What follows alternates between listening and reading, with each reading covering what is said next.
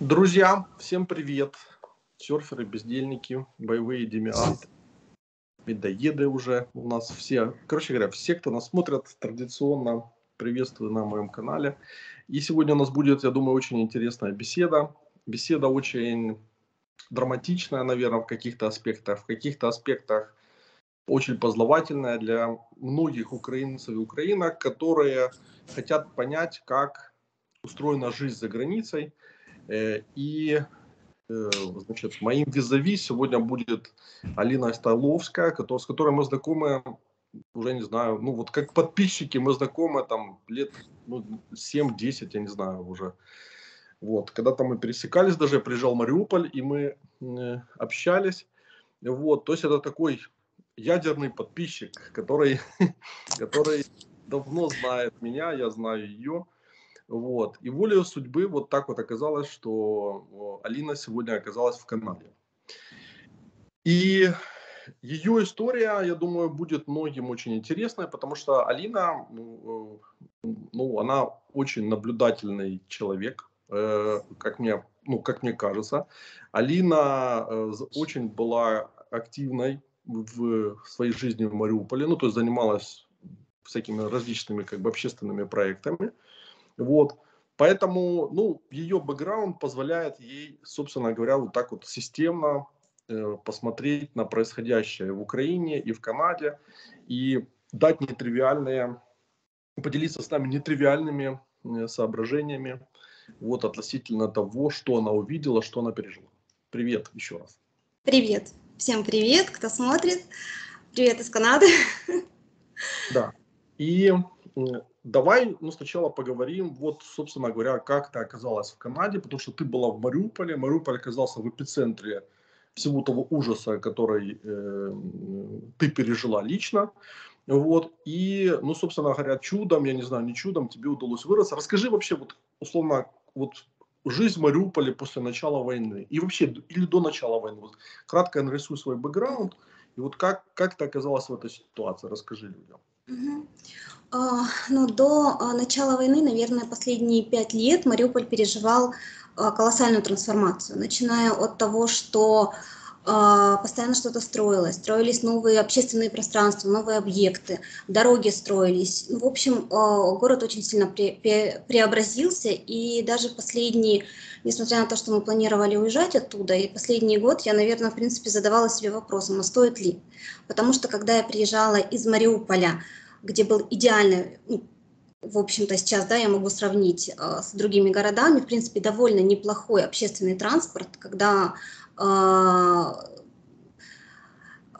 практически убрали маршрутки, и у нас были троллейбусы, трамваи и автобусы, и когда ты садишься, да, у нас был самый дорогой в Украине общественный транспорт, но когда ты летом туда садился, там было чисто, там работал кондиционер, зимой там также было тепло, и э, вот все это удобство жизни, э, особенно на фоне того, когда ты приезжаешь, допустим, тот же Киев, вот, э, мне казалось, что Мариуполь, как бы, ну, там было очень много плюсов начиная там, допустим, от того же там э, те, те же парки, которые полностью перестраивали, переделывали, вот тот же драмтеатр, вокруг драмтеатра, когда ты мог зимой и покататься на коньках, вот, и летом там отдохнуть. И, в принципе, э, город настолько перестроили, настолько э, там все было красиво, чисто у нас, что по некоторым фотографиям ты не мог определить, ты в Европе или ты в Мариуполе.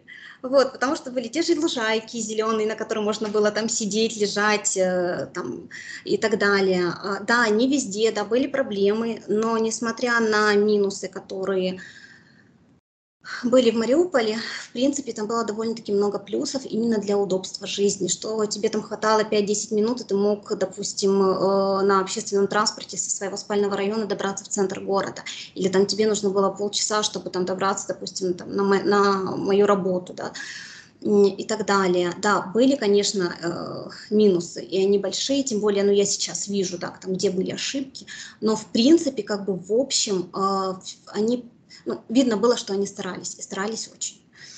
А, вот. А, да, поэтому... Извини, что прибил, я тебе иногда буду перебивать. Да, да, конечно. Имеешь в виду кого? Городские власти там или что? Да, да, это делали городские власти. А, И они, наверное, пошли по тому принципу, что если ты что-то не можешь контролировать, да, попробуй, а попробуй взять этих активистов на работу в горсовет. Ну, в общем-то, они так и сделали. А я не знаю, насколько это повлияло положительно, отрицательно, либо никак, но то, что те люди, которые... А, партия называлась... Не помню, не помню, как была, как, как называлась партия, которая, вот эти вот депутаты, которые были оппозиционные к угу. Провластным депутатам. А, сила людей. Вот. Да, но э, власть максимально... Сначала они там боролись с ними, вот, потом они максимально решили все это взять под контроль. И э, э, я заметила, что некоторые те же активисты, они стали советниками мэра.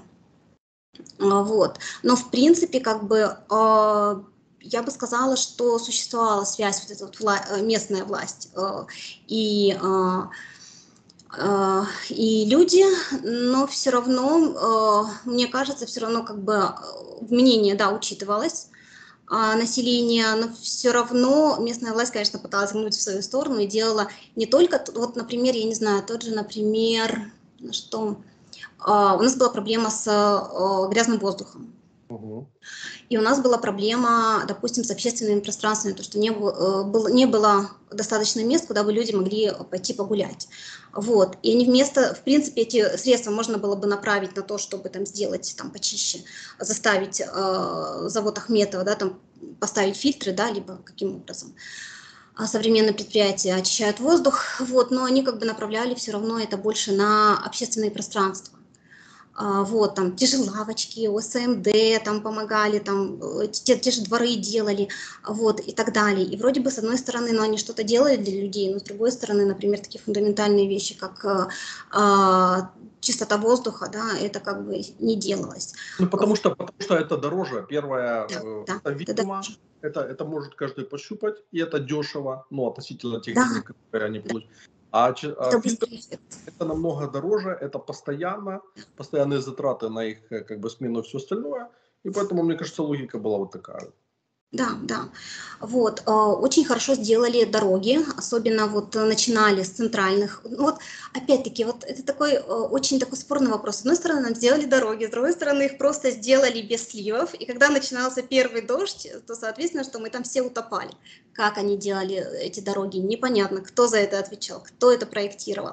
Вот, но факт остается фактом. То есть, с одной стороны, были действительно классные дороги, такие, как мы можем увидеть в э, той же Польше, а с другой другой стороны, вот эти вот такие недоделки, и они очень важные, да, в плане того, что, например, э, я не знаю, там те же бордюры, тоже безбарьерное пространство, хотя они старались, но все равно это было, ну, вроде бы они как, ну, это как вот у нас ОСМД, они вроде бы там сделали ремонт, да, но с другой стороны, они не подумали, допустим, о людях с ограниченными возможностями, хотя профицит бюджета был, и они, допустим, я не знаю, там э, стены выкладывают, ну вот это не стены, а как это входная группа, подъезд, да, это называется. Вот они э, из-за того, что вот эти деньги надо было куда-то деть, они выкладывали в мрамор, э, мрамор там, я не знаю, камень э, ложили, э, и этот подъезд такой был пшенка стайл, вот, потому что просто некуда было деть деньги. А с другой стороны, дверь, например, в э, входная дверь и дверь, вот где мусор лежит, они не отличались. То есть они даже не заменили двери, не сделали там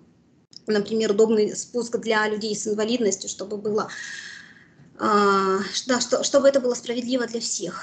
Вот. И точно так же вот власть. Вот они вроде делали дороги, но с другой стороны вот такие были ужасные косяки. С одной стороны, вроде бы они сделали э, пирс, да, на который это было одно из самых посещаемых мест.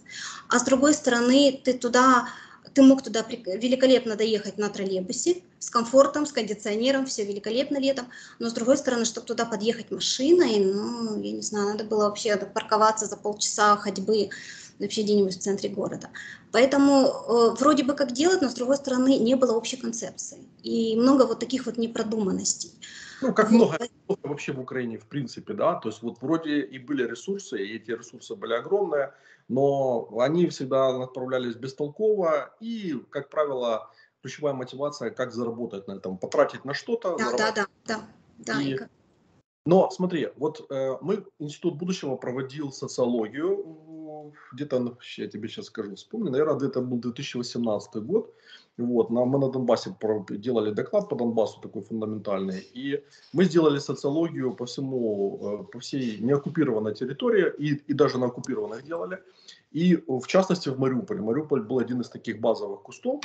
Вот. И э, что меня тогда поразило, что э, ну, большое, значительная часть населения мечтала уехать из Мариуполя. То есть это касалось не только, что меня больше всего удивило, что это касалось не только молодежи, но и люди там в возрасте за 50, то есть у них проявлялись такие вот активные, активное желание попробовать где-то ну, уехать в Киев, там, попробовать пожить за границей. Э, вот. И э, это было э, зеркально обратным тому, что было в Ордло. Потому что в Ордло как раз никто не хотел никуда уезжать, то есть у них там такое настроение, что мы сидим здесь. Все, вот мы, мы значит, прикипели к этой земле, потому что все, кто хотели уехать, уже уехали. Кто пытался уехать э, там на территорию Украины даже, они вернулись назад, ну, кто вернулся там, да, вот, и, соответственно, там такие вот почвенники были. И вот э, один вопрос, один из вопросов, который я не думал э, задавать вот перед эфиром, а по ходу с тобой я общаюсь, и, и он в голову пришел, это, вот смотри, произошла оккупация Мариуполя позже, и вот оказалось, что многие жители Мариуполя, которые там сейчас остались, вот они быстро провалились вот в эту оккупационную рамку, то есть э, разделяют там э, русский мир там и все такое.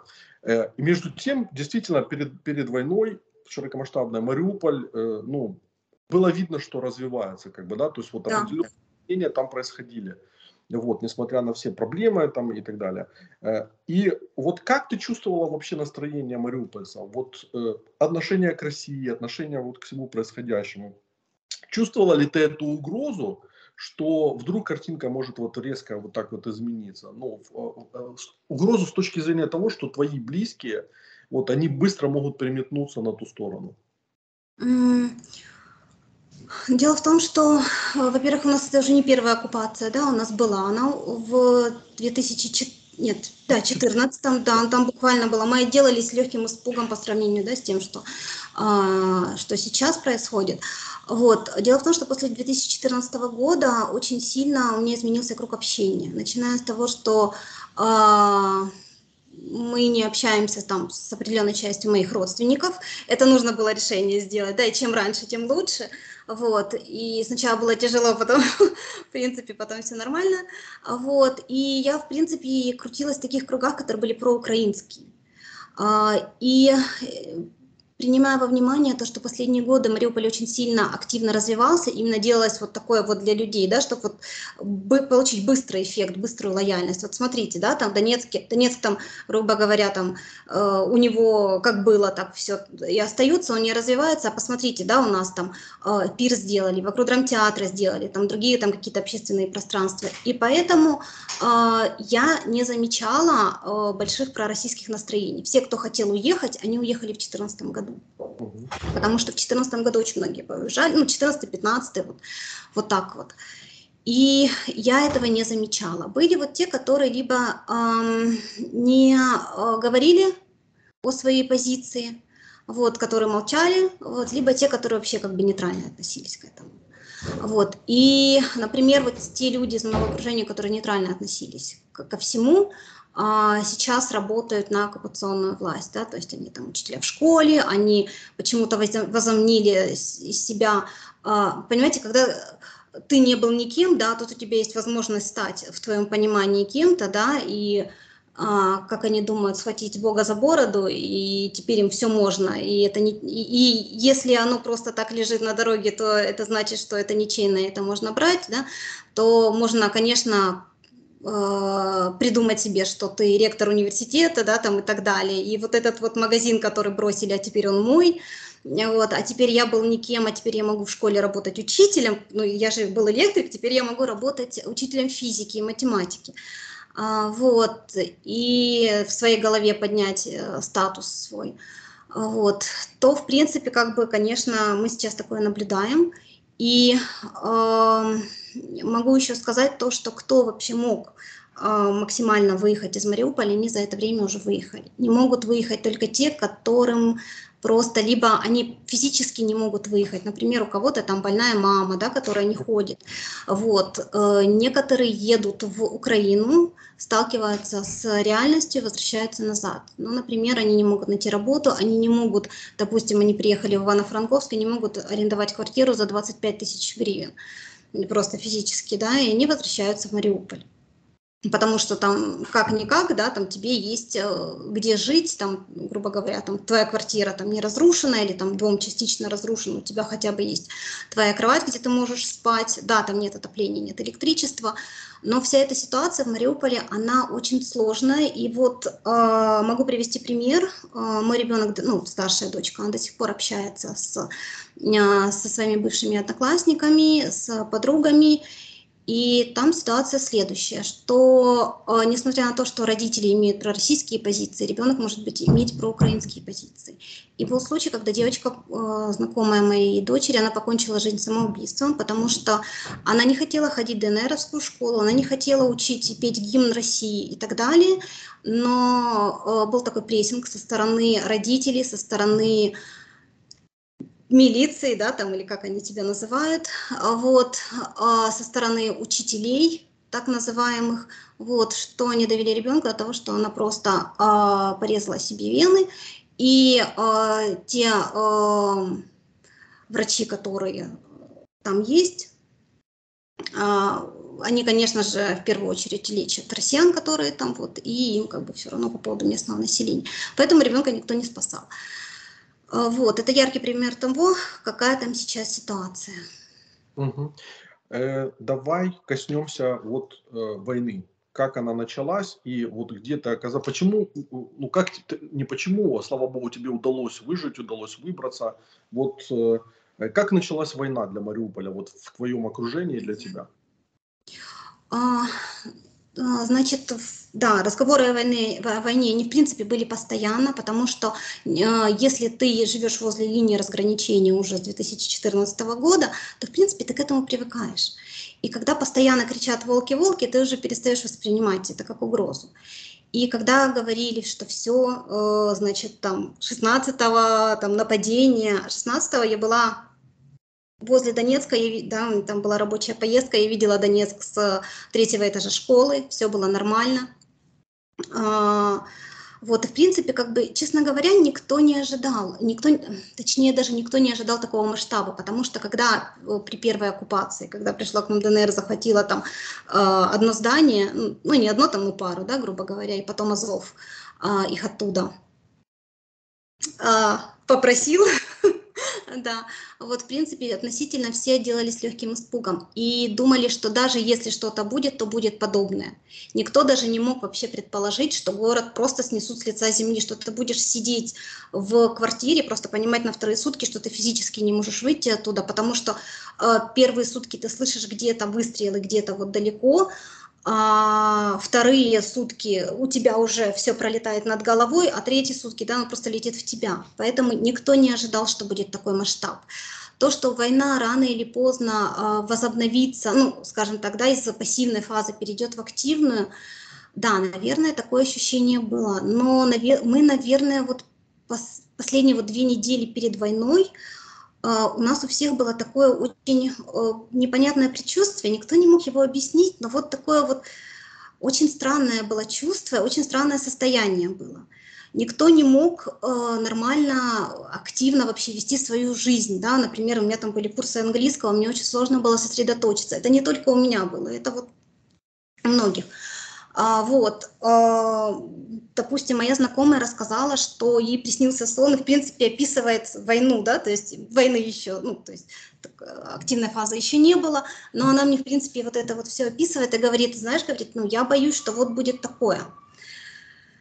И мы тогда еще все дружно посмеялись, сказали, что это просто фантазия, это был просто сон, вот, но никто же не думал, что это будет реальность было вот такое впечатление, что когда зашли русские, когда они заехали на танках, как бы я живу на э, центральном бульваре.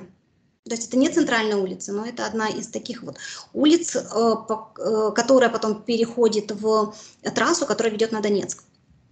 А, вот, и когда они вошли в город на танках, было такое впечатление, что вот им сказали, что вы можете, вот какие у вас вообще самые а, ваши фантазии, которые вы там всегда хотели реализовать и не могли, вот, пожалуйста, делайте, что хотите.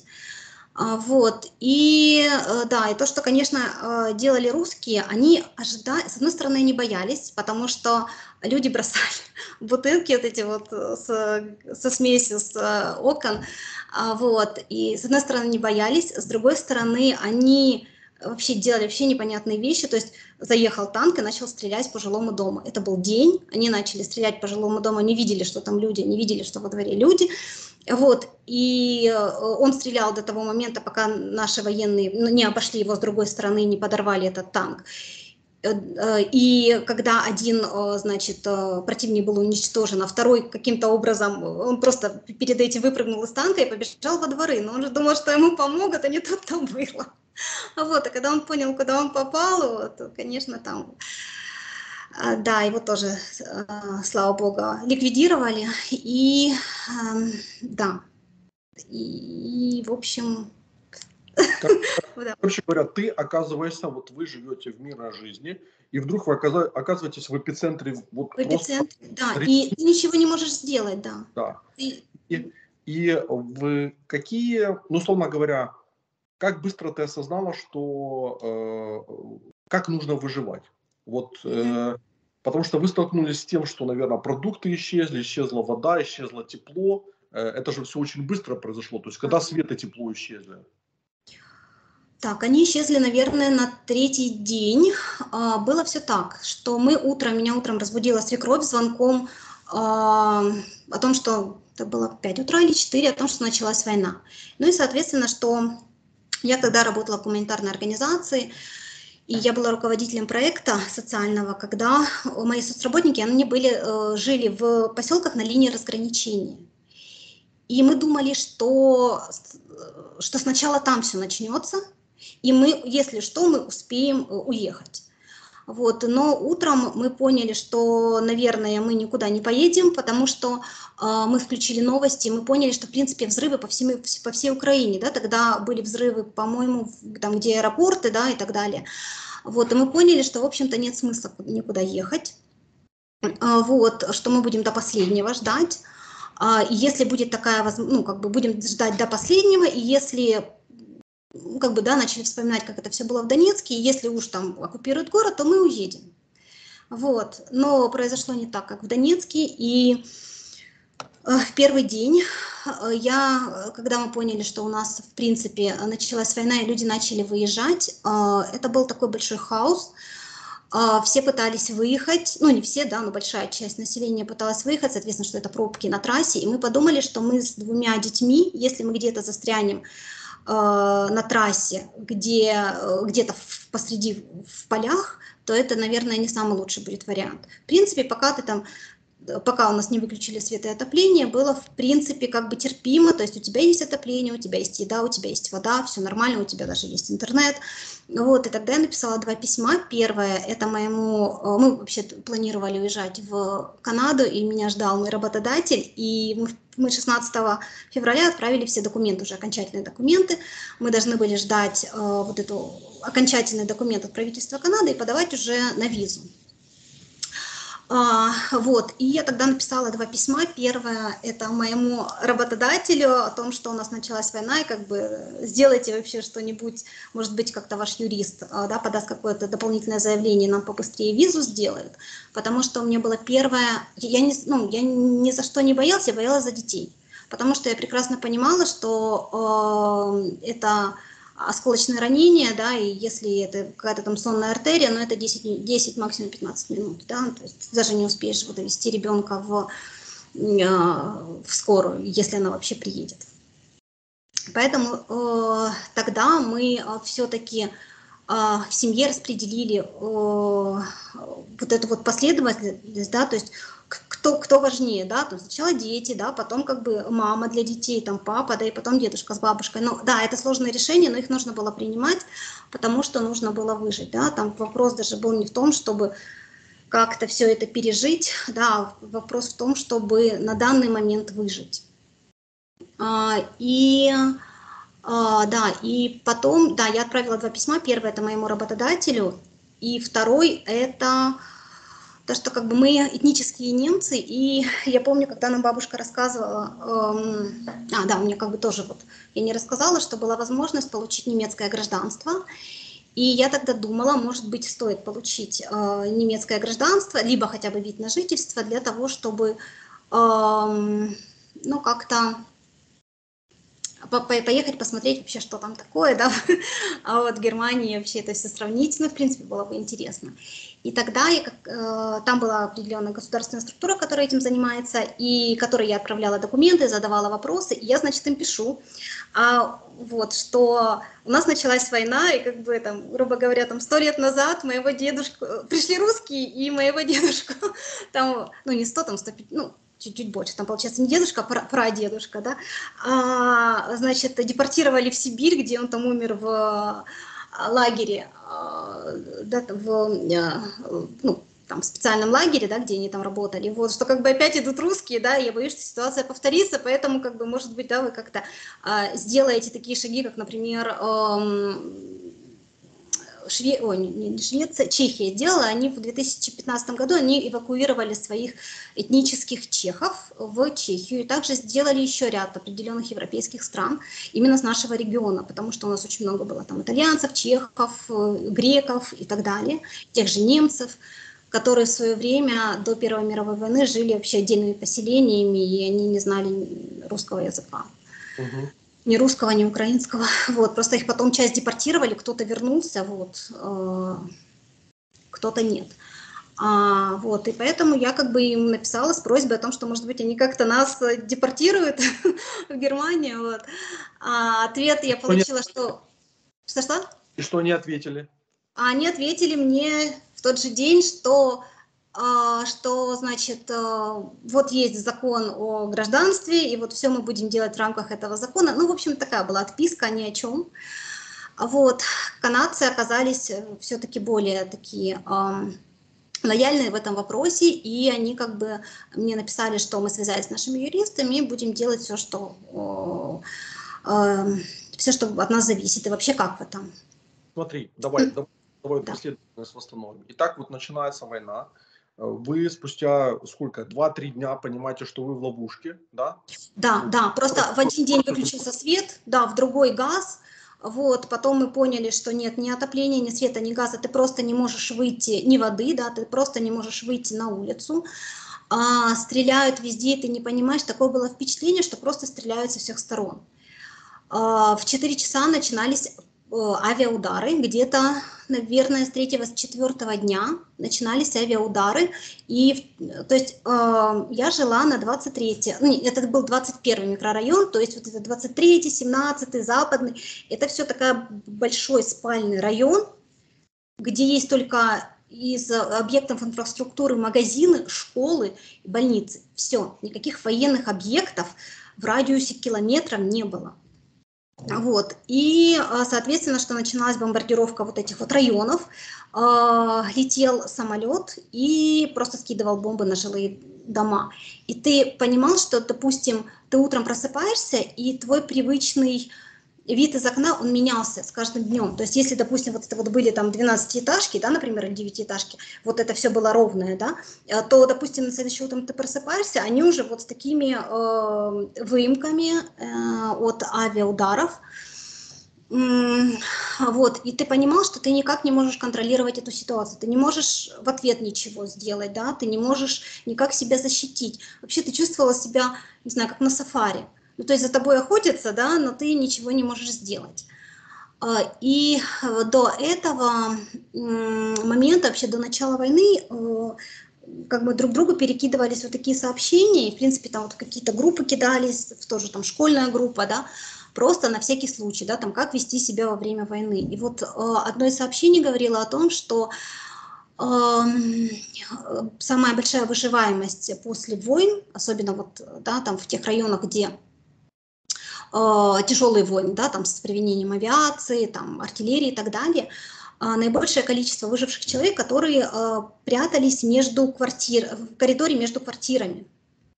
А, вот. И мы, в принципе, так и делали. То есть мы не бежали в подвал, потому что Были случаи, когда дом просто складывался, и в подвале были, в общем-то, все жильцы дома, которых потом ну, не могли вытащить. Угу. Вот, и, да. Не прибью, здесь очень важно, вот важный момент.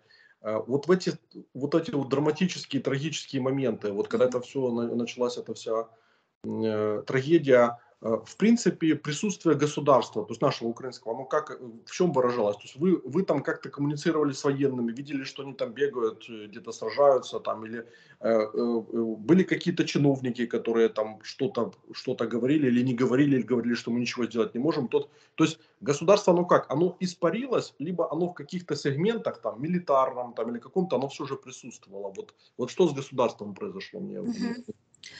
А, ну, еще до, да, ну, до, еще до начала войны, поскольку я э, волонтером была, соответственно, что мы общались с военными, и они говорили, город укреплен вот сто процентов, вот, ну, не зайдут в город, даже если что-то будет, это будет за городом. И нам говорили о том, что очень много, просто беспрецедентное количество военных, э, что город очень хорошо укреплен. И ничего не бойтесь, ничего плохого не будет, там не выезжайте, не создавайте панику, не выезжайте из города. А, вот. И э, в первые дни мы, естественно, что мы не смотрели местные мариупольские каналы, мы смотрели украинские каналы. А по поводу того, что чувствовалось. А, присутствие местной власти не чувствовалось вообще. Ну, то есть они периодически, мы, мы видели, как работает госпиталь, как ездит там первый день скорая, как работает общественный транспорт, он работал до последнего. Э, но в какой-то момент мы поняли, что мы предоставлены сами себе. То есть никакого плана эвакуации, никакого плана вообще, как работать с населением, что им делать, обеспечивать их водой, этого не было. Этим занимались волонтеры и негосударственные организации, которые были там. То есть поскольку я была эм, работником гуманитарной организации, мы составили себе где-то за две недели до 24 февраля мы составили план эвакуации, то есть кто вообще что должен делать. И мы запаслись э, у себя в офисе, у нас был двухэтажный офис, такое большое здание, там мы запаслись водой, едой и так далее, то есть там стояли аккумуляторы. Но дело в том, что это здание было на левом берегу, который пострадал больше всего, и откуда, в общем-то, это все и начиналось. А, ты имеешь в виду левый берег Кальмиуса, да? Да, да, да. То есть получается, что наш офис, он был за Завсталью. Угу. И э, когда э, мой коллега приехал ко мне на второй день э, и сказал, что давай как бы, с, за, ну я, получается, я живу, жила в западной части, а Азовсталь в восточной части города.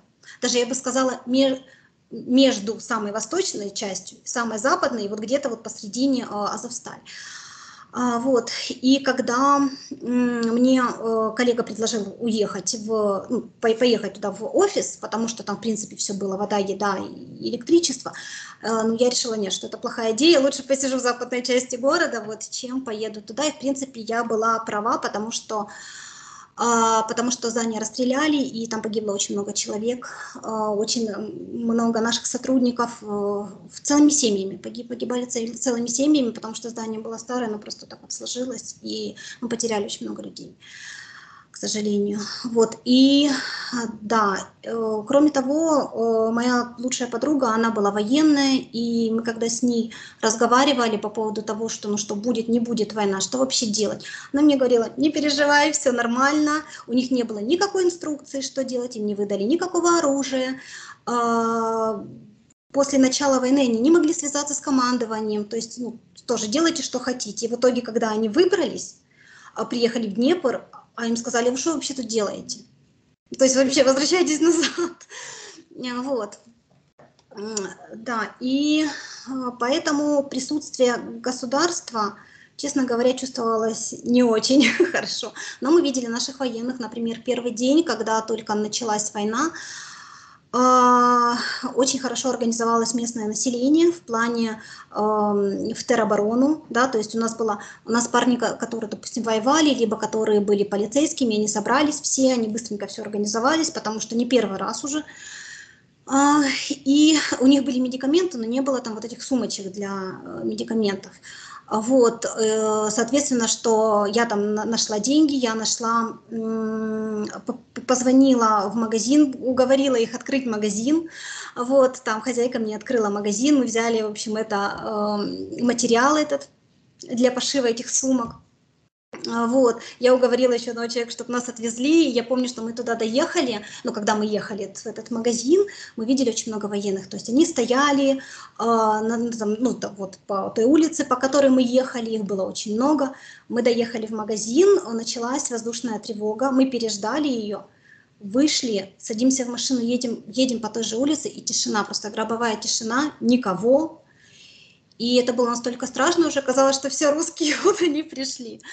Вот, и, соответственно, что, э, да, когда я начала шить а, вот эти вот сумочки, да, вот эти вот маленькие, не знаю, как там, аптечки, да, назовем их так, вот, я даже их не смогла закончить, ну, то есть там мы смогли половину пошить, потом у нас просто выключили свет, а, вот, и, а, ну, мы, уже, мы смогли часть пошить и отправить по, по, а, там, туда, куда они нужны, а, вот, и да, это был второй день уже, а, и потом у нас так э, началось, что у нас, по-моему, на второй или на третий день на первый раз выключили свет, вот, а потом уже выключили его окончательно. И э, когда они только начинали, когда русские только начинали бомбить город, то они не сплошняком его бомбили. Они, допустим, вот начинали бомбить, они знали, куда они бьют. То есть они конкретно, нужно было выключить свет, они конкретно по распределительным щиткам били.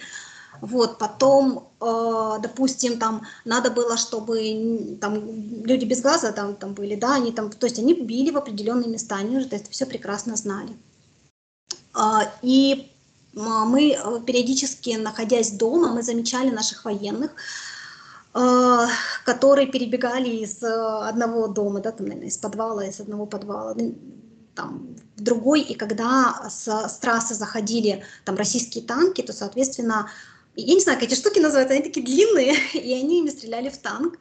А, вот, противотанковые, противотанковые управляемые ракеты. Да, да, вот, и никакой тяжелой украинской техники мы не видели, мы видели вот только а, мобильные вот такие вот группы, которые а, работали вот по танкам, которые заходили вот с этой трассы, заходили на бульвар Шевченко, а, и время от времени, то есть мы слышали, допустим, обстрелы тяжелые, и после обстрела ты смотришь в окно и видели, то один дом загорелся, второй дом загорелся, третий вообще сложился и так далее. Э, и когда, допустим, те же были авиаудары, эм, я не знаю, чем они еще били, были вот такие вот, э, вот ты, допустим, вот э, перестали там закончился обстрел, и ты понимаешь, что тебе надо... В ну, мы, мы перешли, мы жили у родителей, мы перешли к родителям, потому что надо было все-таки в одном месте собраться. Это соседние дома. И, а кролик у нас э, оставался в нашей квартире. Мы вот это бегали кормить кролика раз в день. И когда ты понимаешь, что вроде бы тишина, э, но э, они стреляли вот такими снарядами двух видов. Те, которые ты слышишь, и потом у тебя есть там пару секунд куда-то спрятаться, и потом, допустим, вот они попадают в какой-то дом, и дом начинал гореть, или то, который ты не слышишь. Ты уже по факту чувствуешь либо волну эту ударную, либо уже там осколки летят и так далее. Вот. И, соответственно, что когда у тебя нет э, газа, да, и нет электричества, чтобы приготовить э, еду, люди начали делать вот эти вот такие э, костры во дворах. А, и нам просто повезло, нам очень повезло, что вот этот район, где мы жили, он относительно практически, ну не практически, но он не пострадал в такой степени, как пострадали другие районы. А, вот, то есть у нас был авиаудар только в соседний, там, э, в соседний двор, и это то, что мы, наверное, наверное, мы никогда этого не забудем. То есть мы сидим, мы понимаем, что летит самолет, мы сразу вот, ну, сели в вот этот коридорчик между квартирами, и, ну, и все, и ты ждешь, да, ну, то есть 50 на 50. Или попадут в твой дом, тогда вообще нет смысла э, прятаться и выбирать себе место, где ты будешь сидеть. Ну, либо не попаду. И вот они кидают бомбу, и она попадает между двумя домами. Как они еще устояли, эти дома? Это была огромная авиабомба. Мы просто прочувствовали а, вот, этот, вот эту вот волну и потом звук. А, и а, да, и, и получается, что потом на следующий день, когда, мы, когда обстрелы закончились, ну то есть они не то, что прям постоянно были обстрелы. Вот, допустим, грубо говоря, с 4 до 6 у них авиаобстрелы, да, потом вот тишина там полчаса, например, да, и вот в эту, вот эти полчаса люди начинали выходить из домов и вообще смотреть, что происходит. И когда мы пошли смотреть, э, что вообще вокруг, мы увидели огромную яму, я не знаю, она, наверное, радиус метров 10, наверное, и там могло поместиться вот в полный рост 2-3 человека. Угу. Вот, я не знаю, как устояли дома, но дома устояли, то есть получается вот так два дома и вот эта вот огромная воронка. Вылетели стекла, наверное, все и сразу. Да, да, стекла вылетели, но очень странно, что балконы остались на месте. То есть, когда, допустим, в другой двор э, было авиапопадание, то там просто такое впечатление, вот, э, что 12-этажку просто так вот снесло. То есть все вот эти вот балконы, которые выпирали, все части, которые до дома, которые выпирали, их просто вот так вот снесло. Или, например, вот был, были выбиты стекла вот с первого по 12 этаж, например. То у того дома как-то, ну, да, были выбиты стекла, но не было прям вот совсем такого Армагеддона. И еще была вот такая картина, что, допустим, ты выходишь э, из подъезда, ты понимаешь, что стреляют, но тебе надо на, на этом костре вообще хоть что-то сварить. Вот, и ты вообще бежишь под обстрелами, э, быстро поставить там, допустим, чайник или кастрюлю, да, и вернуться назад. И смотришь, что, допустим, вот мужчины выходят во двор, и начинают собирать э, мертвых, трупы начинают собирать там, э, ну, или по частям, или полностью, и вот ты видишь, как вот на горизонте, ну, не на горизонте, да, а вот в пределах твоей видимости, просто люди ходят с носилками, и они собирают просто их вот в эти вот ямы от авиаударов. У нас даже во дворе была такая машина, которая не пострадала вообще, это был очень дорогая Mazda, и вот я как сейчас помню, она была новая, это была машина врача, а, и она стояла, то есть все время, до 16 марта мы, по-моему, уехали, вот или 16 или 17, и вот она все это время стояла во дворе на одном и том же месте, и она практически не пострадала. То есть все стекла, все, все, все, все на месте.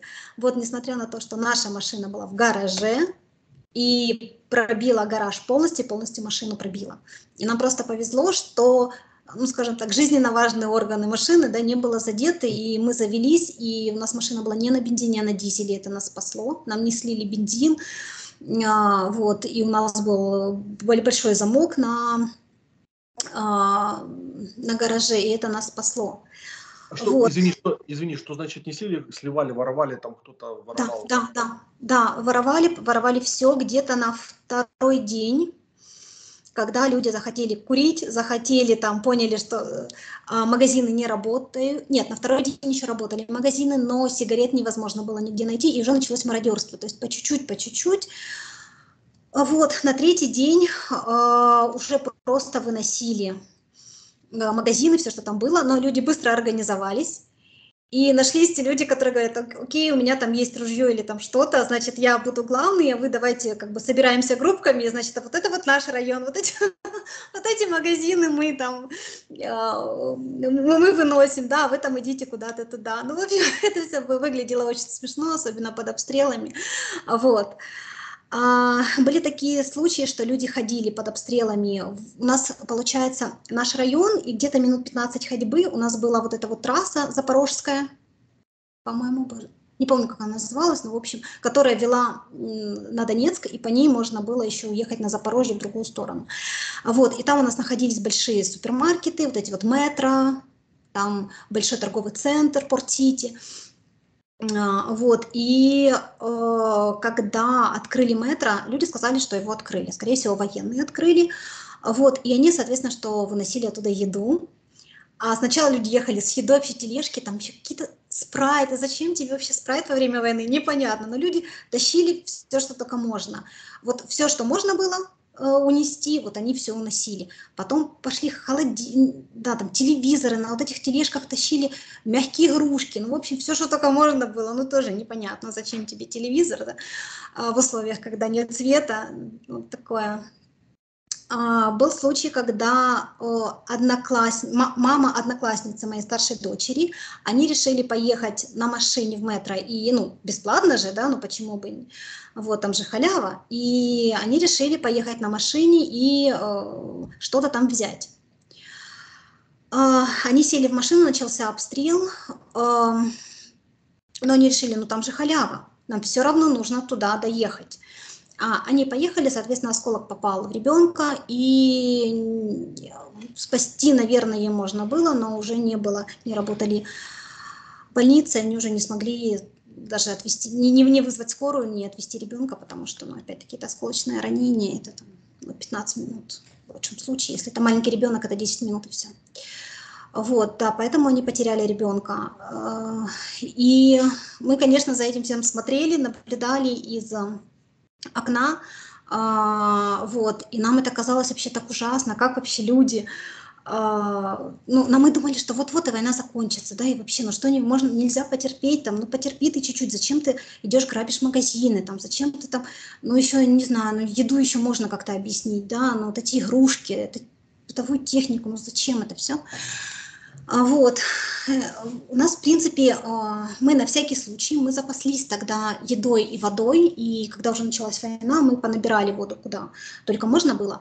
Но никто же не ожидал, что практически месяц нам придется сидеть без э, всего, без воды и без еды. И когда у тебя такой момент, когда у тебя, в принципе, этот рис есть, но нет воды, и ты понимаешь, что ты его не можешь приготовить, и просто многие люди, они думают, что вот самое ужасное в войне – это погибнуть от э, оружия, да? Угу. Но есть еще такой момент, как гуманитарный момент. И э, от обезваживания, от э, голода погибло не меньше людей в Мариуполе, от болезней, да, там не вовремя оказанные медицинские какие-то услуги, погибло не меньше людей, э, чем от э, осколков. Потому что когда ты понимаешь, что воды у тебя там осталось 2 литра, э, и у тебя двое детей, и ты просто не можешь заснуть просто от мысли того, что э, рано или поздно придет тот момент, что э, нечего будет есть, нечего будет пить. И э, умирать, ну, одно дело, когда ты умер от осколка, да, это, это относительно быстро, а другое дело, когда ты умираешь от обезвоживания, да, там, или от голода, это совершенно другое. Вот, и когда это вообще, я себе это представляла, для меня это было намного страшнее, э, чем э, вообще умереть от осколка. Как ты думаешь, Алин, Алин, как ты думаешь, э, ну вот, исходя из того, что ты видела, как бы там, да, э, и я не знаю, как вы общались между собой, потому что связь же тоже исчезла, наверное, достаточно быстро. Мы не общались вообще никак. То есть, в принципе, у вас не было возможности там с какими-то своими друзьями, знакомыми по городу общаться вообще? Рации не было? Э, нет, не было рации. Когда отключили интернет, уже все. Ну, то есть мы могли в соседний двор пробежать быстро между обстрелами, но это же соседние дома были. Ну, ну да. Э, ну, скажем так, вот исходя из того, что ты видела, и постфактум, когда вы начали коммуницировать вот с теми людьми, которые там остались, как ты думаешь, какие потери реальные в Мариуполе? Вот, э, ну, я понимаю, это приблизительно, но вот счет на, на какое количество? Я думаю, что не менее, я думаю, что не менее одна треть. Принимая во внимание, да, да. Я не верю в 85 тысяч. Я видела, как складывались дома полностью, как они выгорали, как э, если люди... И в основном я смотрела, что люди прятались в основном в подвалах. Если этот дом, если это авиаудар, дом складывается сразу же, да, или там, допустим, э, это были подвалы, это не были бомбоубежища. То есть власть была не готова местная, в принципе. Ни одного бомбоубежища, ни одного вообще э, каких-то... То, то есть все э, говорили о том, что ничего не будет все будет хорошо, у нас город хорошо укреплен, не наводите панику, не паникуйте и так далее и тому подобное. Вот, что когда это все случилось, оказалось так, что мы вообще в принципе не готовы, и даже было одно в районе бомбоубежище, ну как условно бомбоубежище, то есть такое подвальное помещение с двумя выходами, э, вот, которое можно было использовать, а ключей не было. А там оно было вообще не оборудовано и так далее и тому подобное. А, и да, и вообще принимая во внимание, как, какая была война, какого масштаба, вот, что сидение в подвалах, ну, это было сравни самоубийству. Когда э, ты видишь, что левые это вообще полностью, ле, ну, восточные левые это было полностью уничтожено, и говорят о каких-то 85 тысячах, ну я не верю в это. 185, ну еще можно поверить. Я думаю, что это примерно одна треть. Треть населения Мариуполя погибло? Треть населения Мариуполя, да, потому что когда мы потом встретились в Запорожье с другими ребятами из нашего района, и когда они рассказывали, что, допустим, а, люди готовили кушать на кострах во дворе, и просто прилетала бомба, и 20 человек нет, в одну секунду нет, а, и так практически в каждом дворе. Вот. И если примерно посчитать, а, да, там в процентном соотношении, ну, я думаю, 30%. Смотри, э, в какой момент вы решили бежать? То есть зашли русские, они стали, вот э, появилось понимание, э, ну вот какая-то, ну не знаю, это нестабильность, но предсказуемость ваших действий появляется, что вы можете, по крайней мере, понимать, в каком направлении можете идти. Или что, или какое-то зачище было. Как вот, как сформировалась вот эта вот ситуация, что вы поняли, что вот, вот это вот оно. Вот. Mm-hmm. Но э, уехать где-то, мысль о том, что нужно уезжать, где-то через неделю появилась. Особенно после того, как а, мне дети начали задавать вопросы, вообще, мама, когда это все закончится, я вообще сделаю хоть что-нибудь, да, там вывези нас и так далее. Вот, и вообще э, моя старшая дочь говорила, что я же говорила, давайте уезжать, да, почему вы там меня не послушали? Сколько детям лет, вот скажи? А, а, так, на тот момент было 10 и 15. Э, и у нас, в принципе, постоянно была такая идея о том, что нужно уезжать. Но дело в том, что были постоянные обстрелы. То есть, ну куда ты поедешь? А, по дороге невозможно... Извини, извини, такой вопрос. Дети как вот переживали? Вы пытались как-то их закрыть, скрыть, не показывать это? Вот что, э, э, как, как вы детей ограждали от этого? А, как-то оградить было невозможно, потому что они, в принципе, во-первых, они уже более-менее были взрослые, и они все это видели. А, единственное, что мы их проинструктировали, то есть как делать, да, что делать, там, допустим, если там что-то слышишь, ну, первый вообще какой-то э, где-то что-то, какой-то выстрел, и, э, там беги быстро в, вот этот, в коридор. Вот, они, конечно, очень сильно боялись, э, и младшая на такой степени боялась, что когда начинались вот эти вот авиаудары либо обстрелы, ее прям вот так всю трусило, и я ничего не могла с ней сделать. Ну, то есть я ее никак успокоить не могла, вот она просто сидела и трусилась. Uh-huh. Мы пытались, э, то есть вести себя спокойно, периодически свекровь э, начинала истерить, там плакать, но мы ее сразу успокаивали. Она вначале как схватила этот крест, вот, у меня свекр, он верующий, и у него куча там вот этих вот икон, он там молит, там молится каждый день, и вот у нее был такой большой такой деревянный крест. Вот она его как схватила, так мы ее вывезли с этим крестом вот так вот в руках. Это через блокпосты. А вот, и а, да, и получается, что но ну, они очень сильно а, стрессанули дети, и последствия мы видим вот сейчас, потому что последствия не сразу не проявляются. Посттравматический синдром – это то, что вот а, сейчас, в принципе, происходит со многими детьми. Вот, сначала э, первые 6-9 месяцев ты не чувствуешь этого. Но потом, а, когда мы вот уже здесь в Канаде, у них начался проявляться посттравматический синдром. Ну, то есть, когда, допустим, а как это все было? Например, когда мы выехали из Мариуполя, мы еще продолжали очень долго, наверное, месяц просыпаться в 4 утра, потому что в 4 утра начинался обстрел, авиаобстрел. А, вот, и а, мы по инерции просыпались. Они тоже просыпались, потом перестали просыпаться. И у них все это переросло в сны, то есть им начали потом сниться кошмары, потом это все там, допустим, э, э, вот это все перерастало в психосоматические какие-то там заболевания. Например, мой ребенок старший, она начала чесаться. Э, вот когда началась война, на, на третий день я просто обнаружила, что вот у нее запястья, они расчесаны практически до крови. То есть лица текла, я ничего не могла сделать, в больницу я не могла пойти, потому что уже было невозможно выходить.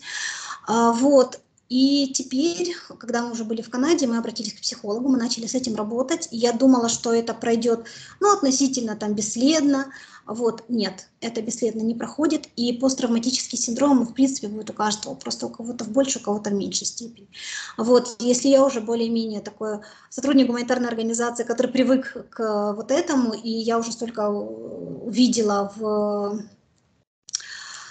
а, когда мы ездили к линии соприкосновения, вот эти вот э, села, которые там, а, вот, и наблюдали а, за тем, как э, дети, которые с 2014 года живут под обстрелами, потому что там были села, у которых обстрелы не, не прекращались. И как эти дети жили, и как это все потом у них э, выливалось вот это вот постоянное психологическое напряжение, потом как у них физических болезней выливались, ну, это страшно. Это ужасно, это имеет свои последствия, тем более, если с этим не работать. Это все можно контролировать и свести максимально к э, минусам, что мы сейчас и делаем в э, Канаде. То есть в Канаде не, просто так лекарства не выписывают. Моим детям выписали. Вот, поэтому нужно понимать, насколько это все серьезно. Угу. Спасибо. Вот теперь возвращаемся mm-hmm. к моменту принятия решений. Итак, вот происходит что? Происходит оккупация, они зашли, вот тот день, когда вы приняли это решение о том, что нужно срочно уже э, выскакивать, как вы это? Э, где-то через неделю мы понимали, что нам нужно уезжать, но мы не могли найти способ как. А, вот, потому что перед, э, получается, мы 16-го выехали, вот, а перед этим были, э, были попытки наших соседей выезжать, и они ехали и не возвращались. То есть либо возвращались и рассказывали, что половину колонны обстреляли. Вот, или, например, э, русские сказали, что выезжайте, они выехали, доехали до определенного, э, там в полях где-то они их остановили, э, забрали все, что только можно, машины, технику, и просто оставили людей в поле. И люди возвращались опять-таки в Мариуполь под обстрелами, возвращались к себе домой. Вот. И в один момент мы просто услышали от соседей, что якобы русские сделали коридор, и можно уехать. Э, и мы просто сели в машину, мы видели, как другие садятся в машину и уезжают. Мы просто, наверное, в течение 20 минут собрались, все, что было, все, что можно было схватить. Ну, просто спасибо моему мужу, потому что он в тот момент он был более собран. Он, он взял документы, он там взял там какие-то там еще там кролика нашего, да, который я, совершенно забыла. Он взял для него еду, потому что я думала просто о детях. Я понимала, что мне надо схватить детей, вообще куда-то бежать. Мне вообще не интересны были ни документы, ни деньги, вообще, вообще, вообще ничего, ни какие-то там, ну, вещи, да, там понятно, но вот. И мы просто сели в машину, и мы уехали, просто на свой страх и риск. Нам говорили, что э, есть возможность вроде бы как три дня коридор, э, и мы просто поехали. Есть, ехать было очень сложно, потому что э, все дворы, они были в строительном мусоре. И чтобы выехать ну, естественно, что никакой шиномонтаж не работал там, да, что если что-то случится с колесом, но это твои личные проблемы. И когда мы выехали со своих дворов на вот этот бульвар Шевченко, и мы увидели эти перевернутые горящие, сгоревшие танки, эти дома, ну, это, этот запах вообще непонятный, это, это было не просто гарь. И когда мы это все увидели, и на заднем фоне еще, ну, точнее, вот впереди, да, там стояли, стояли русские, оно, это было очень страшно. Это было ужасно, потому что ты привык видеть свой город – особенно вот за последние пять лет, да, все лучше и лучше. И когда я увидела, что, боже, что они вообще сделали с этим асфальтом, с э, городом, с домами, это, конечно, было ужасно, потому что одно дело, когда ты смотришь это все на картинке, но это непередаваемо, когда ты это все чувствуешь. А, вот да, когда это запах, когда это ты слышишь, э, ты видишь, и ты понимаешь, что вообще это такое, и еще то понимание, что, в общем-то, ты выехал, но не факт, что ты доедешь, потому что обстрелы не были постоянные. Вот, и, но нам повезло, что мы жили возле вот этой вот трассы и главного блокпоста, через который пропускали. Мы поехали, а, вот, и первый блок, блокпост, а, русские ограбили вот эти вот там, получается, у нас были большие магазины крупные, и по другую сторону у трассы там были вот эти вот, не знаю, как они называются, э, склады, да, э, склады, там, где была еда, вот. И с одной стороны, они обстреливают, продолжают обстреливать город э, авиацией, ну, там, там, там все было, да, допустим, там, я не знаю, какие-нибудь что там, ураганы, да, или там, да, с одной стороны обстреливает город, а с другой стороны он достает вот эту шоколадку, которую только что вытащил из нашего же э, э, там магазина, да, и дает детям шоколадку. Вот, и это, конечно, ну, это ужасно, вот этот вот контраст, что у них вообще в голове было, ну, непонятно. Ну, точнее, понятно, да, но я думаю, что это не поддается описанию литературными словами. Вас на этом блокпосте выпустили, вас как-то проверяли, или вы, просто... Да, да, на каждом, да, на каждом блокпосте нас проверяли, значит, первый блокпост опускает, значит, попросили опустить стекло, он опускает стекло заднее, и получается видит, что дети, я и свекровь с крестом. Я думаю, боже, и он говорит, ну, в общем, как бы там открываем, а, значит, двери выходим, думаю, боже, она сейчас Думаю, за что хвататься, за, за свекровь, за крест, за что? И у нее было такое лицо, я думаю, боже, она его сейчас просто начнет бить этим крестом. Вот, ну, в общем, да, на каждом блокпосте нас останавливали, мужа раздевали вообще полностью практически, это все было февраль, нет, это март а, уже был, но все равно, да, это было, это было, да. Вот, проверяли документы, но, слава богу, только у мужчин проверяли документы, потому что потом, как выяснилось, слава богу, что э, мой бейдж, бейджик э, работника гуманитарной организации, он был вообще где-то, зачем я его взяла, я не знаю, но он у меня вообще был где-то в сумке, далеко, вот, потому что буквально месяц назад э, человек, который присматривает за квартирой родителей, он был в нашей квартире, и значит, зашел в нашу квартиру, дверь была взломана, и там вот так вот все просто было хотя у нас уже квартира пострадала, да, там от обстрелов, вот, но потом, когда выяснили, он начал спрашивать соседей, что вообще произошло, потому что две было квартиры вскрыты, наша и человек, который м, служил в, в армии, угу. в Росгвардии, о, боже, не Росгвардия, как же она называлась, неважно, в общем, в каком-то подразделении он служил, я не помню. Вот. И э, когда э, этот знакомый начал спрашивать соседей, что вообще тут произошло и почему квартира вскрыта, вот они сказали, что они пришли, значит, за мной, потому что американский шпион.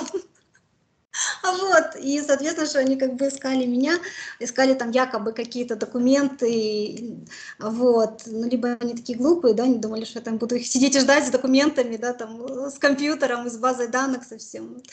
И когда они ничего не нашли, а, вот, это российские военные унесли микроволновку, телевизор и что-то там еще. Ну, традиционно. Так что она не работала, да, уже. да, ну вот, да, страшные. Ну, а мужа, мужа они искали татуировки, вот это вот этот стандартный да, Да, да, да, они все это искали, вот, у моего мужа не было ни одной татуировки, поэтому они, в принципе, не могли ни к чему придраться. Вот, но документы, да, они э, проверяли, и проверяли только у мужчин. И получается, а где-то смотрели они как? Они просто смотрели паспорт или там в какой-то базе данных смотрели, как что И в базе данных в том числе, да. Некоторые просто смотрели, потом у них какие-то списки там были, потом а, вот, даже если, возможно, там, я не знаю, у них были какие-то э, фотографии, да, там тех же активистов, тех же волонтеров, но я не думаю, что они вы меня узнали, потому что я была в таком вообще состоянии и виде, что э, там, когда ты там не принимал душ э, месяц, да, и вообще все люди были в таком состоянии, что вряд ли они бы кого-то узнали. Вот, и после этого, когда мы уже выехали э, на блокпост, доехали до Мангуша, это где-то территориально между Мариуполем и Донецком, нас проверяли уже не российские военные, а вот эти вот ДНР, представители ДНР. И такого хамства мы, конечно, вообще... Он, он, был, он был очень злой, и, и он так разговаривал, что было видно, что они очень-очень ненавидят мариупольцев. Он сказал, вы там из Мариуполя, да, там, ну, особенно когда увидел прописку, вот. И мы думали, что у нас э, там будет какое-то задержание, там, я не знаю, что-то машину отберут и так далее, но нет. Извини, не прибью. Да. Вы приехали до Мангуша, потому что туда была свободная дорога, а в сторону Такмака там или э, э, Мелитополя там, там, там еще бои были, шли, и вы просто боялись, что не выйдете, я так понимаю, да? Ну да, нам просто нам говорили, куда ехать, то есть вот, вот туда вы можете ехать. А, российские военные, они не просто так давали этот коридор, а, вот, а, это все было под их СМИ, вот, и они, соответственно, подходили там чуть ли не каждой машине и рассказывали, ну там расскажите, а, а вам вообще Азов помогал? Или там вообще какие-то глупые вопросы задавали, или там еще что-нибудь?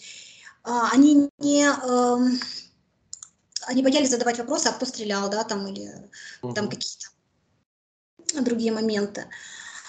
Uh, да, и мы, конечно, нам главное было, чтобы вы выехать и вывести детей, потому что одно дело, когда ты взрослый в такой ситуации, другое дело, когда ребенок. И когда мы уже с Мангуша нас уже я не помню, потом в итоге мы оказались в Бердянске, то есть по каким-то там дорогам и трассам мы возвращались, получается, назад на Бердянск, и когда мы уже въехали в Бердянск, там была огромная очередь. И мы подумали, что это машины, которые, у которых закончился бензин, потому что бензина не было. И мы просто как бы а это была очередь, но мы не, не, сначала не поняли, что это очередь. Мы просто ее проехали и уперлись в военного. Вот, он говорит, вы что, самые умные, почему вы ну, э, очередь пропустили? Вот, ну, мы им объяснили, что мы им не поняли, что это очередь. И вот он такой, ну, хорошо, э, давайте как бы проверим вашу машину, не проверили нашу машину, опять раздели моего мужа, вообще его забрали куда-то, мы его ждали минут 20. А, и э, потом нас пропустили в Бердянск. То есть мы относительно быстро приехали в Бердянск, угу. и в Бердянске мы уже э, нашли семью, ну, не мы нашли, нам предложили э, переночевать в, там в одном доме, вот, и мы, соответственно, что вообще мы первый раз за месяц, ты помыл руки, это такой, это такой кайф мыть руки, и все равно, что это холодная вода, вот, но ты можешь помыть руки, вообще ты можешь умыться, и ты можешь принять душ, и после этого у нас было два варианта. А, поехать а, либо на, на территорию России, а, либо на, территорию подконтрольной Украине. Вот. И мы, естественно, что боялись вообще каким-то образом и в Крым ехать, и на территорию выезжать уже на территорию России. Вот, и мы поехали через поселочки вот эти вот, я не помню, как они назывались, мы поехали на Запорожье. Угу. А, вот. На, и... пошли, вы пошли не вдоль моря по этой трассе, а пошли на север, наверное, туда, в сторону да. туда. Да, да, да, да. Угу. И да, там никакой нормальной дороги не было, то есть там был, мы доехали до какого-то поселка, а потом была просто вот такая вот выезженная машинами дорога это между э, огородами через поселок, и уже потом через вот этот поселок мы выезжали на, уже непосредственно на Запорожье. Угу. А, и там была вот эта дорога, которая с, с обоих сторон были мины лежали и взорванные машины. И вообще всю дорогу, пока вот мы ехали из Мариуполя в Запорожье, это было ужасное, конечно, зрелище, когда вот эти вот машины рас, обстрелянные, э, сгоревшие были. И видно было, что люди пытались выбраться. Вот, некоторые с людьми а, вместе внутри, некоторые рядом люди, некоторые вообще без людей и машины. Вот. Но, скорее всего, что было похоже на то, что люди ехали, вот начинался обстрел, и они просто попадали под обстрел. Нам тоже сказали, что а, ну, вы едете, но не факт, что вы доедете. Ну, то есть, может, доедете, не доедете, но мы уже решили, что а, чем умирать в Мариуполе, мы, в принципе, точно так же можно и где-то умереть на трассе, но тогда хотя бы у тебя была надежда, что ты можешь выбраться. Вот, и когда мы уже, конечно, оказались в Запорожье, мы там увидели первый украинский флаг, все нас уже попустило, мы уже поняли, что мы в безопасности, вот, э, что можно расслабиться.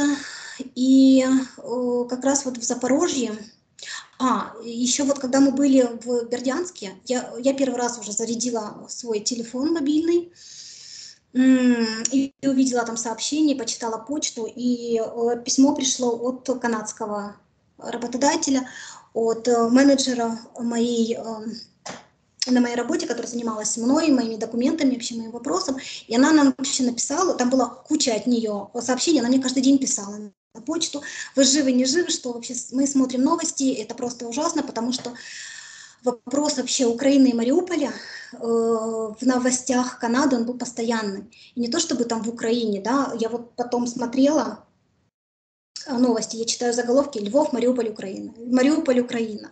Там Днепропетровск, Львов, Мариуполь. Да и опять вот Мариуполь, вот это вот постоянно здесь был.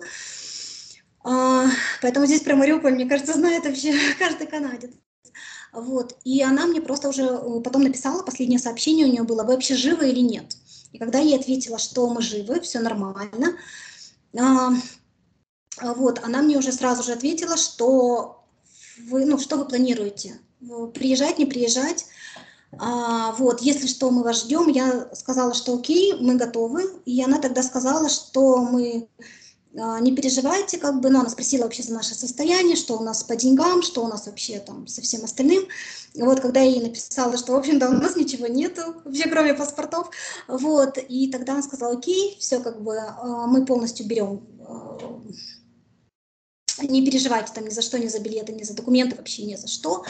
К тому времени Канада уже сделала специальную программу для украинцев, и они сказали, что мы вас полностью спонсируем, то есть мы вас полностью заберем. Вот, есть чтобы мы ни за что не переживали. И это было, наверное, наверное, главный момент, почему вообще у нас не было, ну, у меня лично, да, там никакой депрессии, ничего, потому что люди, которые на тот момент уезжали из Мариуполя, у них впереди не было ничего. Ну, то есть все, что они имели, это люди, э, у многих был бизнес, да, уже устоявшаяся жизнь, все было великолепно, их полностью устраивала жизнь в Мариуполе, а теперь, ну, то есть вообще какое-то определенное будущее. А после этого у них не было ничего. Вот, никакой надежды, вообще никакого понимания, что будет дальше, э, что будет с войной, как это будет долго, что вообще сейчас делать, и куда бежать, и куда идти.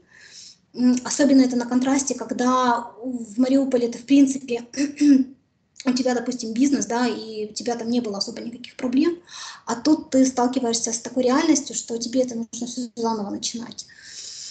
А, вот, у нашей семьи была надежда, да, у нас была такая спасательная, э, такая спасательная подушка, да, мы ее сами себе подстелили, не понимая этого до войны, когда я искала работу, когда я искала возможность поехать а, в Канаду, и так как-то вот получилось, да, что, в общем-то, мы сами себе постелили соломку, вот, и нам очень повезло, что попался такой, а, такая компания в Канаде, вот, которая полностью нас проспонсировала, и мы в итоге попали сюда.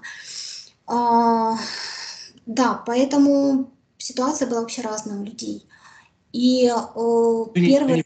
Извини, перебью. Вот вы двинулись, как, когда вы перешли вот на украинскую территорию, условно, на подконтрольную, то есть вы двигались по вот этим проселкам, шли по этой да. дороге заминированной, там, да, и в какой-то момент вы что, вы уперлись как бы в блокпост наш? Да, или... украинский блокпост, да, да. Там просто было какие-то поля-поля, то есть вот этот вот поселочек, мы из него выезжали, нам, нам сказали отключить мобильные телефоны, вот, и потом, да, ты вот едешь, э, какие-то, это даже не трасса была, там была дорога среди полей, потом в итоге ты, на, э, ты натыкаешься на блокпост, украинским флагом, все, и ты уже понимаешь, что ты на территории подконтрольной Украине. Потом с, от этого блокпоста мы уже как-то въезжали на, на территорию самого города Запорожье, там был такой распределительный пункт, то есть тебе надо было зарегистрироваться, и поскольку э, часть э, моей организации, часть э, сотрудников, они выехали раньше, вот, и мне уже была возможность как бы кому-то позвонить, вот, и э, меня уже направили, мне уже сказали, что тебе нужно там ехать туда-то, туда-то, по такому-то адресу, вот мы тебя ждем. И мы, получается, вот в этот центр, который принимал э, беженцев, мы уже туда попали, это был садик, нас очень хорошо приняли там, и, в принципе, там нам помогли, нам вообще дали еду, мы приняли душ, нам было где спать, э, нам дали вообще какую-то одежду э, элементарную. И э, мы там были около недели, потому что мы просто не могли физически найти квартиру вообще никакую. Ну, то есть либо риэлторы предлагали в других городах, э, там, я не знаю, там за 20 тысяч гривен, но такие цены вообще не были просто нереальные. Вот, и потом одна семья, они предложили нам просто бесплатно квартиру в Крапивницком. Мы туда приехали, в Крапивницкий, а, и потом мы начали платить за эту квартиру. Вот, от нас не просили там оплату, просили хотя бы за коммуналку платить, но как бы это не совсем красиво, мы посчитали, вот, и поэтому мы сами предложили платить за эту квартиру, вот до сих пор э, семья моего мужа, вот, родители, они там. Нам, нам очень повезло, потому что когда люди выехали, многие, они столкнулись э, с реальностью, с тем, что жители Западной Украины, они поехали беженцами в Польшу, в Германию, Швейцарию. Свои квартиры они сдавали, сдавали по очень высоким ценам. А, вот. А, было, то было. И что да. есть. Ну да, вот. И Хотя я знаю, хотя я знаю, кстати, и примеры, когда бесплатно сдавали, сдавали и моим друзьям, как бы там тоже под Львовом абсолютно бесплатно, причем это известные люди были, они просто взяли в свой особняк там шикарный, кучу беженцев загнали. Ну, как, как это всегда бывает, было все. Вот было да, да, да, конечно, разные. Дерли, и было вот и такое. Да, просто э, так получилось, что э, нам повезло, и нам попадались всегда очень хорошие люди. И такие ситуации, в принципе, вот нам бесплатно дали эту квартиру, да, там в Крапивницком. Там, я не знаю, нас хорошо приняли в Запорожье. Когда мы приехали в Крапивницкий, э, у нас, в общем-то, э, была надежда, да, что мы вот должны там там, заполнить документы да, и ждать канадскую визу по вот этой программе. Она называется КОАЕТ, это программа э, по быстрому въезду канадцев в, э, в Канаду, э, чтобы вообще для понимания, раньше, до войны, до этой программы, чтобы попасть в Канаду, это очень закрытая страна, несмотря на то, что э, по, у них существует около 80 миграционных программ, и они в год примерно до ковида они завозили в страну около 300 тысяч ежегодно иммигрантов. Сейчас они планируют 500 тысяч. Вот, несмотря на это, попасть в Канаду очень сложно. Вот. И особенно э, у них очень сильно защищен рынок труда, и особенно через рабочую визу. То есть получить рабочую визу, это там, чтобы ты понимал, я к этому шла 4 года, чтобы найти работодателя, которому можно это все привозить, сотрудников, который готов был в это все ввязаться и так далее. Потому что очень сложно попасть. И финансово, и по документам. Угу. И вообще по критериям. Да. Но Смотри. это я уже Смотри, я думаю, что э, я думаю, что вот нам нужно как-то э, разделить. Вот у нас уже мы больше часа говорим, вот час, mm-hmm. час 16, и ну, вот, это, вот, этот, вот этот кусок, он цельный, и он, ну, он реально очень сильный. Вот я, я просто чувствую это, и ты, ты рассказываешь просто настолько жизненно это все, и ну, чувствуется вот все, что ты пережила. Вот, поэтому я думаю, что вот он должен быть об, об украинской истории. Вот Марокко, да, да, украинская история, там, да, вот э, ты, ты расскажи до конца, условно говоря, вот вы пожили в Крапивницком, и потом э, вы э, собираете документы или что, и ты двигаешься с детьми, я так понимаю, туда, да, в, в, в, за границу, там, да, перебираешь. Да, то есть мы приехали в Крапивницкий, и как раз мы попали в той, к той семье, где сын э, пошел на войну. Он приехал, он, был, он работал в Польше, он вернулся, после начала войны он вернулся в Украину и пошел воевать добровольцем. Вот, и поэтому этой семье э, тема войны, она, конечно, была очень близка, вот, и там нам очень сильно помогли. Э, получается, что вот эта вот семья, они были верующие, они там у них была своя церковь, и вот эти вот прихожане этой церкви, они узнали нашу историю, и они нам, что нам только не принесли, одежду, кастрюли, я не знаю, там, матрас, там, ну, в общем, все-все-все, все, что только можно, вот, и у нас было тогда э, в Крапивницком, нам нужно было оформить вообще какие-то документы, да, о том, что мы переселенцы и все остальное. Я никогда такого не оформляла и вообще старалась не связываться с государственными структурами, учреждениями в плане документации. Вот. Но тогда надо было. Единственное, что у нас была, у нас была папка с документами, которые э, для Канады, и у нас были там, ну, там наши паспорта, то есть там минимальные документы. А, вот, и мы пошли а, оформлять справку. А, и тогда еще вот до этого, буквально за день до этого, ты разместил мою, вот, это не статья была, это, наверное, было больше, как большой комментарий, да, вот, и я помню тот момент, когда я сижу а, в этом совбеса назывался, по-моему, в Крапивницкой, вот сижу и доказываю, что я действительно из Мариуполя, да, там, а, и мой ребенок это мой ребенок, вот, э, тут, потому что, чтобы оформить вот эту вот помощь, там буквально, я не знаю, финансово, она была 2 или полторы тысячи на человека, ну это такое, ни о чем, вот, но все равно, да, это были копейки, но они были ценны на тот момент. И я понимаю, я понимаю, вот эта вот разница государства и люди. И тут я понимаю, что мне начинают приходить смс от э, Приватбанка о том, что э, мне люди кидают деньги на счет. И это был такой контраст, я чуть не расплакалась, я сижу такая, я понимаю, что мне начинает катиться слеза, я пытаюсь вообще держать себя в руках, вот, и тут уже сотрудница такая, ну что вы вот это вот, ну да, не принимаем мы ваши документы, ну что сразу плакать, в общем, такое. Я говорю, знаете, вы к этому отношения не имеете. А, то есть это, это та статья, которую ты прислала, и там была, была карточка твоя, которую попросили... Да, да, да. А, слушай, такая... Честно, ну мне, мне приятно, и я хочу, чтобы все э, подписчики, вот они понимали, что вот, вот это пошло все вот на эту историю, и э, да. Алина да. это та женщина, вот, которая, которая действительно в этом нуждалась. Да, и ты первый человек, который нам помог в, во всем, да, вот, на, нам очень много людей помогало, вот, скажем так, э, сквозь вот эту вот всю историю, да, э, мы можем, и сквозь вообще мой рассказ, мы можем встретить очень много людей, которые это помогали, и которые за нас вписывались очень серьезно. Вот, но ты был вот этот первый человек, который так помог, и а, это было так необычно, вот, потому что до этого я была всегда волонтером, всегда я кому-то помогала. И это было так непривычно для нас, когда нам кто-то помогает. Вот, и, и это было так вре своевременно, вот, потому что, в принципе, у нас не было ничего. У нас были документы, у нас были дети. Нам очень э, повезло, что мы выбрали живые, у нас руки и ноги были на месте, и все было нормально в этом плане относительно. Вот. И э, сколько мы помощи встретили, это, конечно, ну, это дорого стоит. Да, и... Я думаю, да, что это...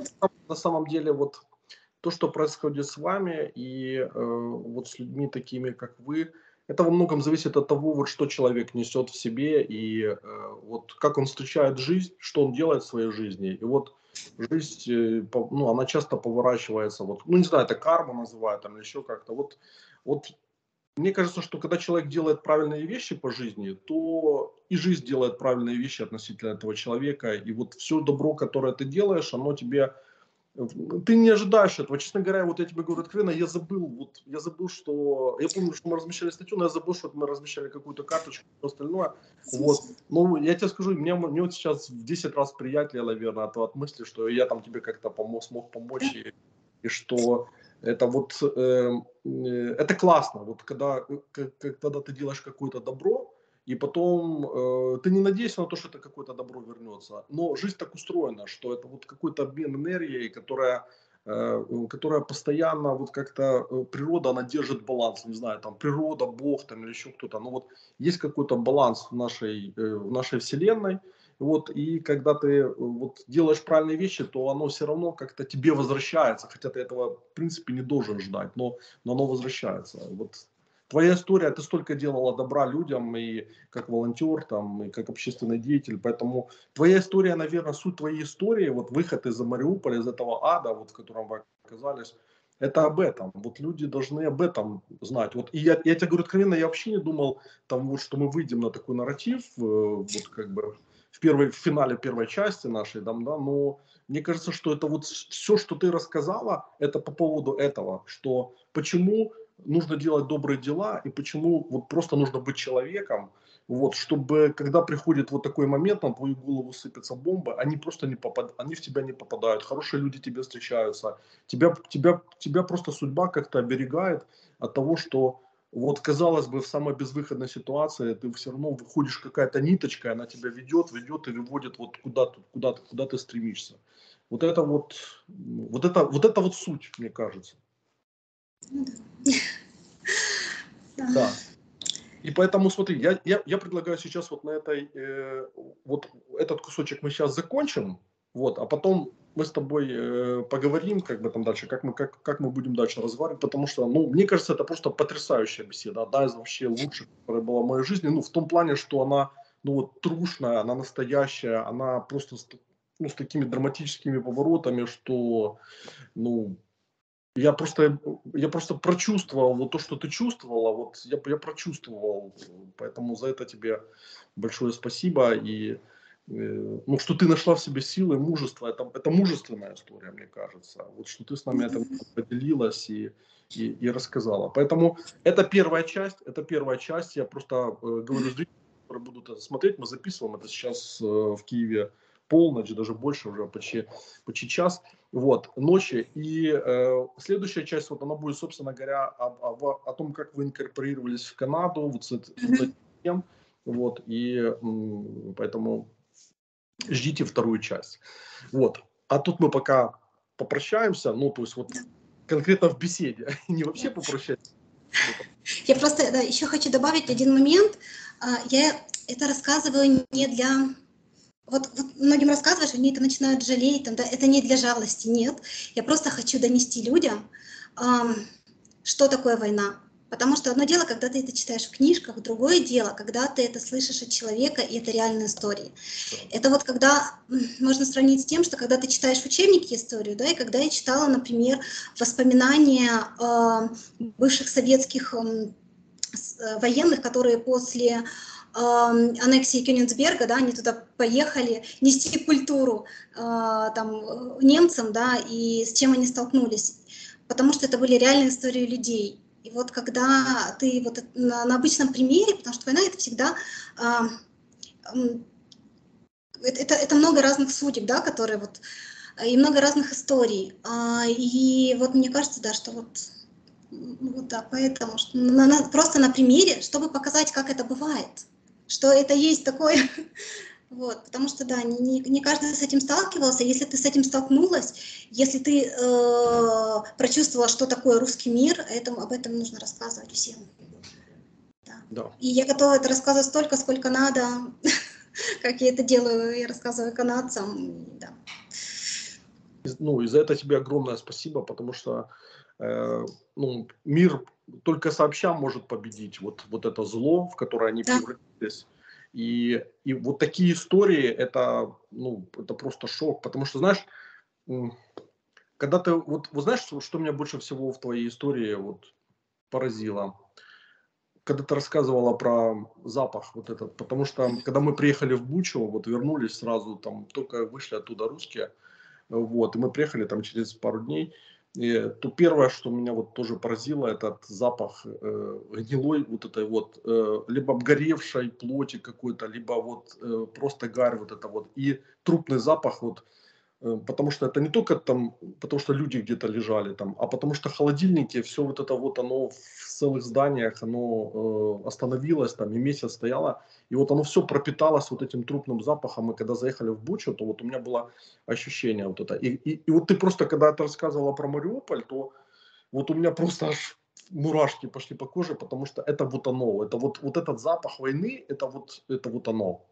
Это, ну, никакое спасение рядового Райана, вот оно этого не передаст, вот, э, когда ты ну, не почувствовал его на подкорке, он потом у тебя вызывает э, рефлекс просто какой-то, когда ты его слушаешь, слышишь. Ну, Поэтому вот запах войны, я не знаю, может быть мы так и назовем этот э, эфир, э, Мариуполь, запах войны, вот я, я подумаю, но э, ну, ну реально спасибо за то, что ты поделилась, потому что это, это, это дорого стоит.